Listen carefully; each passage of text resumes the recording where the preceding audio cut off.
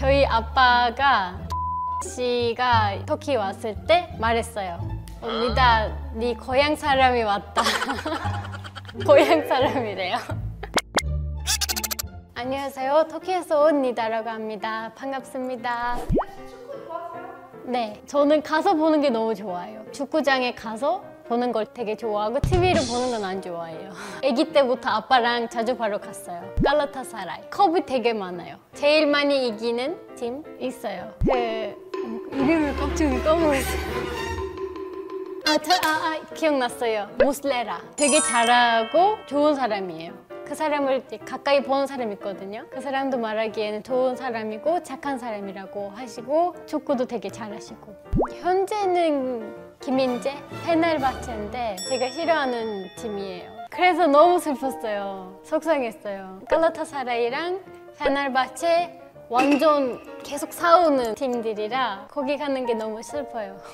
터키 오고 나서 엄청 잘하고 있다고 말하더라고요. 수비수를 되게 잘한다고 하던데 그래서 괴물 수비수라고 부르기도 하더라고요. 그래서 터키 리그 베스트 11에 들어갔어요. 사람들이 주위에서 칭찬을 많이 해요. 저희 아빠가 김민재 씨가 터키 왔을 때 말했어요. 언니다, 네 고향 사람이 왔다. 고향 사람이래요.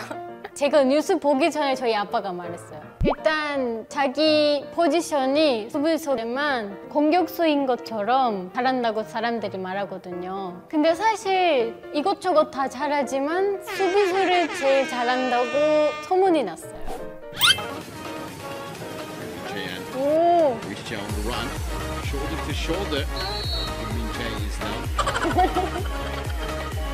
오, 너무 너무 빠른데요? 어, 되게 잘 뛰는데요? 그 이렇게 짧은 영상으로만 봐도 눈에 딱 띄는 것 같아요. videoyu silin dış kaynaklar görmeden. 이거 터키 사람들이 완전 받아들인 것 같아요. 김민재 씨를. 이제 우리 거 됐으니까 그 영상을 다른 나라에서 축구팀들을 보면은 그걸 따라할 수 있다고. 아니면은 김민재 씨를 가져가려고 할 수 있다고 그런 이런 의미예요. 나잘이라는 게 있는데요. 악마의 눈이라고 한국어로 번역하긴 하는데 네, 이거 터키 미신 중에 하나예요. 누가 뭐를 잘 하면은 악마가 그걸 나쁘게 만들려고 밀어넣고 이런 뜻이 있는데 약간 사람들에서는 터키어를 얘기하면은 나쁜 눈으로도 많이 얘기해요. 나쁜 눈은 이제 그 사람이 그걸 질투하면서 나쁘게 되길 원하지 않아도 질투하니까 그거 나쁘게 된다. 그 일이 벌어지지 않길 위해서 말하는 말입니다. 뭔가 김민재 씨가 잘 됐으면 좋겠다는 마음에 터키 사람들이 이렇게 얘기하는 것 같아요. Efsane efsane. 이미 받아들였어요, 터키에서. 이거 되게 사람 없는 편이에요, 지금. 김민재 인기 지렸습니다. 민재 오빠! 민재 오빠라고 했어요?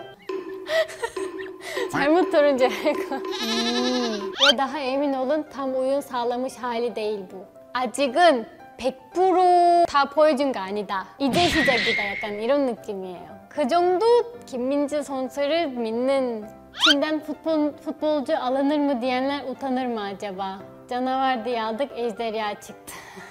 일단은 이거를 레이시즘이라고 사람들 생각할 수 있는데 중국이라고 말했잖아요. 약간 아시아 사람이면 다 중국이라고 말한 사람들이 있어요. 장난식으로 하는 건데 나쁜 걸로 말하는 건 아니지만 중국에서 축구 선수를 받는 게 좀 이상하다 생각하는 사람들 이제 좀 부끄러워하냐고 첫 번째가 그렇게 말하는 거예요. 이제 봐봐 라는 느낌? 괴물이었는 줄 알고 받았는데 영이었다고 말했어요.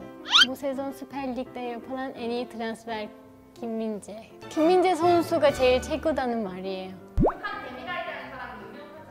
이 사람이 되게 유명한데 이런 큰 말들을 잘 안 해요. 누구를 너무 잘한다 이렇게 이런 말들 되게 잘 하지 않는 것 같아요. 그만큼 인정받은 거예요.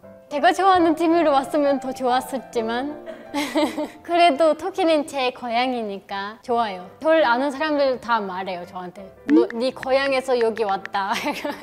다 그렇게 말하더라고요. 그냥 웃어요 저도. 사람들도 좋은 말들 되게 많이 하니까 제가 기분 좋더라고요. 어, 요즘 점점 더 좋아지는 것 같아요. 약간 옛날에는 한국이 축구를 지금만큼 잘하진 않았던 것 같아요.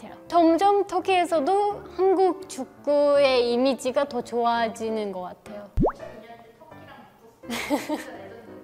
어, 예전에 2002년 때 제가 아직 너무 어렸지만 터키랑 한국이 만났었잖아요. 지금도 터키도 한국도 더 잘해서 새로운 역사가 또 쓰였으면 좋겠어요. 오늘은 터키에서 난리 난 김민재 선수에 대해서 얘기를 해봤습니다. 영상이 좋으셨다면 구독, 좋아요 부탁드립니다. 감사합니다.